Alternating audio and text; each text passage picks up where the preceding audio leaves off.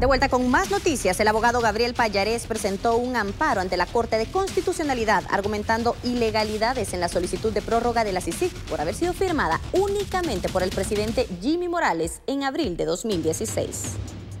El amparo se interpone en contra del presidente de la República, toda vez que él suscribió la, la solicitud de prórroga que se hace ante las Naciones Unidas para la continuidad de la CICIG en Guatemala.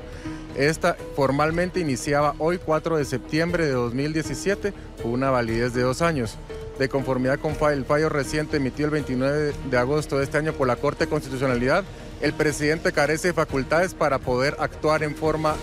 en forma sola o únicamente él sin el refrendo de sus ministros. Entonces dicha orden carece de completa validez y se solicita que se otorgue el amparo en virtud de que no llegan las formalidades de ley. Dos cuestiones importantes. La primera, es que se declare que, a partir de hoy el mandato de la CICIG en Guatemala ha cesado y el segundo poner en entredicho a la Corte de Constitucionalidad, toda vez que ellos mismos han fallado en reiteradas ocasiones, y especialmente esta única, varios temas. El primero, que cualquier persona tiene legitimidad para interponer el amparo toda vez que haya una amenaza o, una, o se haya conculcado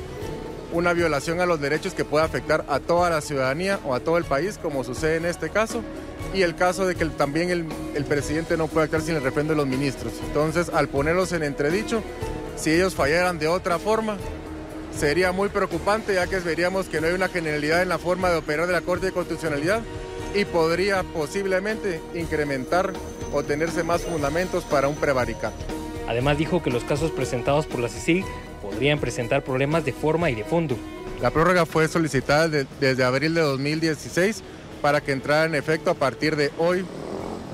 Todos los casos en que la, en que la CICIG haya, haya llegado pueden tener falencias tanto de forma contra de fondo y creo que será cuestión de cada uno de los abogados en el caso plantear, plantear de forma fundamentada su petición para que lo sean los tribunales los que deciden lo que procede.